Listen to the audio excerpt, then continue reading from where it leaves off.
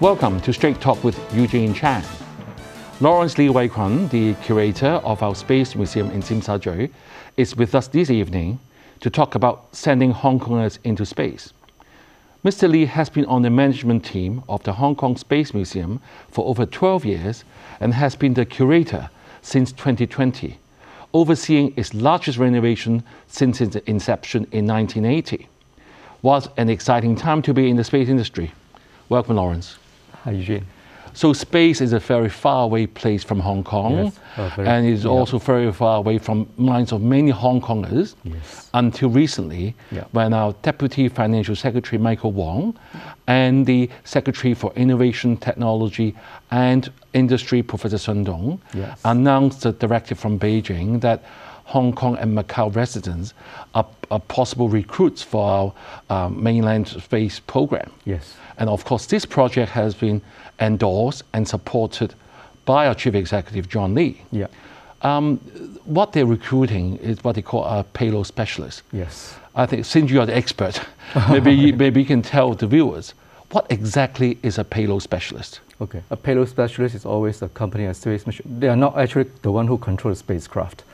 They may, may, mainly they may carry out experiments to do science research on a spacecraft on the on a space mission. So this um, so actually um, we have a lot lots to do in space. Besides controlling spacecraft, there are many research research projects we can do in space.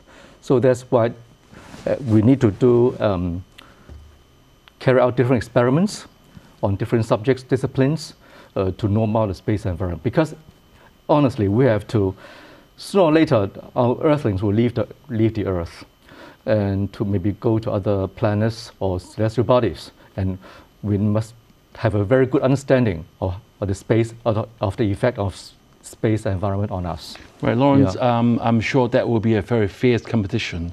What you're saying is payload specialists are the ones going to do research for us. Yes, So yeah. what are the basic criteria that can satisfy, if, you, if I want to be a, a, uh, a payload specialist, what are the criteria that we need in this program?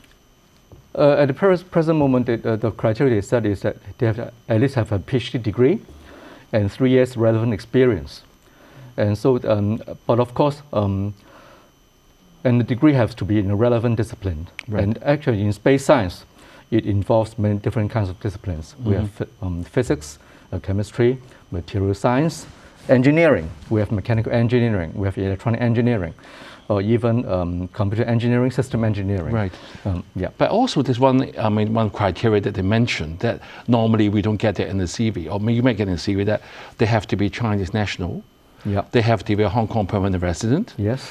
they have to be a patriot of one patriot, Mm-hmm. supporting one country, two systems, and also certain height as well. Yeah. Um, do you expect that is part of the, uh, the, the criteria? Do you think it's a fair uh, assessment?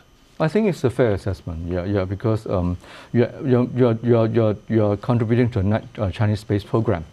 Yeah, so I, I, I guess it's a, ba- it's a basic um, requirements. I, I, yeah, I think it's a fair assessment. Right. Yeah, yeah. So do you think Hong Kong have the expertise in this area so that we can join the national team? I mean, now it's being open to Hong Kong, Macau residents, but Yeah. do we have those specialists? Uh, at present, there are more. There are around uh, thirty thousand uh, people doing science research in Hong Kong and doing many, many different disciplines. We don't know whether um, you know the the, fi- the final selection rests with with uh, with the Chinese authorities, with our countries. So, uh, um, but I think uh, when they look at the, the CVs and different ex- experience of the applicants, I think well, maybe they could see the possibility of the scientists, of the applicants, to be a spa- payload specialist. Right, when Yeah, you yeah. said we have like 30,000 potential uh, I mean, they're doing science research here. science research now, here, Yeah. do you think we have a good chance? I won't speculate on that. Right. I know the competition is re- really fierce. Exactly. I, uh, very keen. I, that's, uh, that's for sure. Um, but I think um, it's actually, um, from a personal point of view, is a long-time initiative. Right. Is a, yeah, because we have, we have to, uh, even if it's not success, successful this time, then we'll keep on grooming new talents in this field. So why do you think mainland has opened up this opportunity for both Hong Kong and Macau residents? I think it's a recognition of, uh, for Hong Kong, I guess it's a recognition of the space science research they have been doing, uh, especially the, science, the contribution of uh, Hong Kong scientists in the Chang'e and the lunar missions Right. and the Mars Attachment missions. I think they know that science has a very strong field, uh, strong um, presence in scientific research. Right. I guess uh, I, I think it's a recognition. It's Right. recognition, yeah, and especially for instance, for instance, um, you know we have PolyU who are doing the uh, develop the uh, camera pointing system uh, for the Chang'e system, Chang'e space mission, and we um, and also developed the um, uh, Mars land, Mars surveillance landing camera, cam- landing surveillance camera for the Mars mission. Right.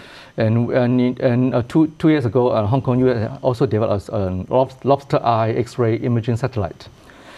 Uh, for so that's uh, so, uh, I I guess we have a, a proven track record Right. in science research. I mean, it's, yeah. it's very encouraging to hear those achievements by the Hong Kong scientists. Yeah. So that now we are being recognized that we are a good potential Yes. list of the payload specialists. Yeah, yeah. So we got good track record.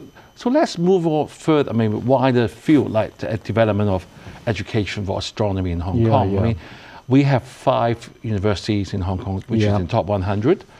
Do any one of them offer majors in astronomy or aeronautics? And if so, I mean, do they have sufficient specialist courses to make our scientists even more equipped Uh-huh, for this, this field? Yes. Yeah, as, far- as far as I know, I know there are universities in Hong Kong, they are offering degrees in aeronautic or aerospace engineering. There's at least three they're offering. And at least two they're offering postgraduate degrees uh, in uh, space science. Yeah.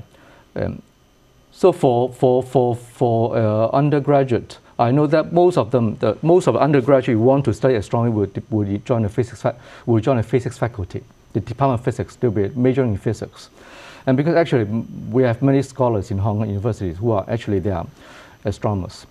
Yeah, so they can, so uh, when they will, um, they will uh, organize some courses and for, for, the, for, for the students to enroll and to uh, pick up uh, knowledge in astronomy. Yeah. Right. See, Yeah. Lawrence, you know, traditionally Hong Kong has always been having more emphasis Yeah. onto other jobs like, um, I mean, not really on technology or scientists, but mainly on, say, if you go to university, you may want to be a medical doctor, you want Yeah. Mm-hmm. to be a lawyer, you could be a banker. It's traditionally not as prestigious. Yeah. But with this opportunity opening up, and also Hong Kong being um, going to be um, asked to be the, the hub for innovation technology, Yeah. do you think everything will change from now? I guess that is definitely a stimulus, because uh, if we are, for example, for example, if I'm studying um, mechanical engineering in a university, say, then I, I will suddenly, oh, actually the topic I'm studying, I can, I can, you know, a whole, whole arena of topics or new theme, research theme maybe Right. open up Right. in, in my field. Because you know, in a space environment, it's very, it's very interesting because space environment is hard to replicate on Earth. Why? Because it's um, vacuum, the temperature difference, and the intense radiation in the space environment. Materials behave in a, um, and the microgravity environment. So materials behave so differently in the space environment. So that, that's, that's why we need a space station to do science research in space because the environment is so different. Right. You can see a few days ago, uh, um, the astronaut um, uh, Liu Yang, they performed a Tiangong lesson, and then Tiangong lesson, and do a, a number of demonstrations on the physics of materials. Uh, very interesting. And so, this is a definite stimulus for people doing science research in Hong Kong to seek new possibilities. So, so basically, it's opening up a whole Yeah. new, I mean, possibility that Yeah, in the yeah. past you only study, I mean, astronomy or physics on the on the textbook, but now now the chance has come. you know, the universe is a laboratory. Right. Yeah, yeah. So this definitely is a very positive sign. Yeah. And actually, when you, you mentioned earlier, one day, I mean, human beings may have to look at inhabiting other, other planets. So these are um, preliminary studies we must do Yeah, to we understand do that. Yes. Because the, because the universe is so large and the, the, the celestial bodies are so far away. Right. Yeah, you, the moon, even if the Apollo mission at the time, it takes three days to the moon. And Mars, you, you go to the Mars, we colonize Mars one day, say for example. According to present technology, it takes nine months Nine to months. go to Mars Right. for quickest. Yeah. Right. So a round trip journey to Mars is 18 months, more Right. than year. Right. Just now you mentioned about the university. We have some undergraduate. We Yeah. have some, maybe some postgraduate Yes, courses. master's but how about science. in, in general levels? I mean, not everybody may have the opportunity to, to study physics or are good enough to study physics, like yourself, Hmm, in, in the university. How about other levels of education? How about in primary and secondary school? Do we have all that being taught to our students? Uh, we actually um, in, in junior level in primary school we have uh, we have uh, astronomical knowledge being being imparted to the students. They learn about the seasons. They learn about some basic space science knowledge. Yes, and in in the in secondary school, uh, in the in the physics uh, curriculum they have the astronomy and space science selectives, and to learn about some of the Kepler's laws. I mean the orbital motion, the, the laws governing orbital motions, uh, classification of stars, and we, and we have the um, the space weather, space weather, um, space weather, the near Earth environment. Yeah. Right, Lawrence, we have to take a break now. And Okay, no problem. viewers, please stay with us. We will be right back. Welcome back. With us this evening is Mr. Lawrence Lee, and we have been talking about the opportunity for Hong Kongers to be sent into space as part of our nation's manned spacecraft program. So, Lawrence, in the first half, you have told us that Hong Kong do have the ability, with the um, ability of people to be payload specialists and be able to be, um, because, because of our track record, I think we are being honored to be able to be selected. And if we are not successful this time, it's at least a good, is a good start. Yes. Um, you've also talked about education. Yeah. I mean, they, it covers from uh, from university as well as primary and secondary education. That there are um, our students are being exposed. Yeah. But how about in terms of the community? Do we have any enthusiastic societies around? I mean, because community engagement is very important. Oh yeah. Uh, actually, the, um, the ecology of astronomy in Hong Kong is very interesting. Actually, we have um, actually before the inception of the Space Museum, actually we have a group of uh, astronomy enthusiasts, amateur and amateur astronomers in Hong Kong. Even in the um, 1950s, or they're already there. Yeah, and now we have um, six astronomical uh, local astronomical societies. Uh, Wow. yeah, yeah, yeah, six. And, and actually, in universities and many secondary schools, they all have their own astronomy clubs. And so, and of course, we have the Space Museum here. We have to uh, promote astronomy for, for the for general public. So whenever there's a big celestial event, say for instance, let me do, do a commercial here for the, the coming solar, uh, lunar eclipse on the 11th or on the 8th of November. Then we'll do broadcast, maybe uh, if condition permit, we, we do we call sidewalk astronomy. That means we set some telescopes on outdoors, and that, and that passes by to take a, take a gaze, take a look through the telescope. Yeah. Right, Uh, Lawrence, I mean, as you know, Hong Kong is a very vibrant city. Yeah. We've got a lot of neon lights at night time, and what we call, I mean, light pollution. I mean, isn't that going to make stargazing a bit difficult in Hong Kong? Honestly, it's, in, it's becoming increasingly difficult. Yeah, because uh, the light pollution in Hong Kong is really very serious. So we have only uh, quite um, not the we, we call the the the sweet spots in Hong for for astronomical observation in Hong Kong is really limited now. Yeah. So um, actually, For example, if you go to the southern side of Hong Kong, say around the beaches, is that a good place for the viewers to know? actually, it really depends on what kind of phenomena you're looking at. Right. For, if you're looking at, say, a lunar eclipse, eclipse of the moon, then uh, the light pollution is not a big issue because you can see the moon all the, as, as, as long as just your view, your ang- viewing angle, your field of view is not blocked, blocked by buildings, something like that, then you can see the moon is okay. But for some astronomical phenomena, say meteor showers, that need a very dark environment, then you, we have to be very careful. Right, For, for, for instance, uh, the Leonids in the November and the Gemini, Geminids in uh, December, they are all require very dark condition to, to see the meteors. Right. Are there Yeah. any alternatives we can do? Uh, so uh, there is one fi- field of astronomy that, uh, that do not rely on weather. It's called the radio astronomy. Yeah, because you, know, you d- use the radio dishes, large radio antennae, to uh, capture radio signals from different kinds of celestial bodies. And uh, actually, we are uh, actually I, I, I know some uh, we are some univers- universities that they already up some radio dishes in this field to do uh, radio astronomy. Yeah, that's that's a possible uh, uh, one field of astronomy that's not so reliant on weather. Right. Yeah, yeah, Like Lawrence, as a curator for Space Museum, yeah. Do you see yourself having a much better opportunity now to promote what you have always been, I mean, um, been asked to do is promote education in Hong Kong, especially with this new initiative of recruiting payload specialists from Hong Kong? Do you expect more visitors to visit the, spa, the Space Museum? Actually, I, I, am actually we are we are trying to um, stimulate interest, uh, taking this this opportunity to, uh, to promote the interest of astronomy and space science for the general public through different lectures or talks or film show. Actually, uh, we are, I know the, um, the, the, um, the, requirements of this payload specialist is very high. It's PhD and three years relevant experience. But um, we are trying to, as I have said, it's a long-time initiative. And we are to let people aware that space science, space technology is so closely related to our daily lives. Right. Actually, there are many spin-offs. Yeah. Right. Um, I, when I was preparing the material to meet you today, I realized yeah. that um, usually, I mean, in the U.S. and Russia, they call them astronauts. Yeah, yeah. But from China, they call them taikonauts. Yes. So, how is all this technology after they've been to the space yeah. and bring back the experience? Yes. How is it going to be relevant to our daily lives? Well, Actually, many, many, many things that we are using uh, are a spin of space technology. Say, for instance, your mobile, your, your mobile phones. Communication satellites, remote sensing. You see the set, um, when you go to the observatory to, see the latest uh, weather map, the satellite pictures, they are space, there's, uh, there's weather satellites. They are all space technology. Uh, the camera, we, digital camera, we use a CCD charge couple device uh, the imaging sensor, the CMOS, they're all space technology.